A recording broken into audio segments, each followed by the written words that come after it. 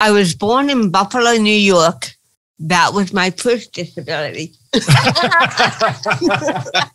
my mom, she was six months pregnant with me, and she was sitting on the front porch of my parents' home, and this car came around the corner, and I guess she was trying to learn how to drive. It was a student with a teacher, and she put the gas instead of the brake, and it went up my parents' front lawn, knocked over the maple tree, and my mom ran to save her life because the tree landed on the porch.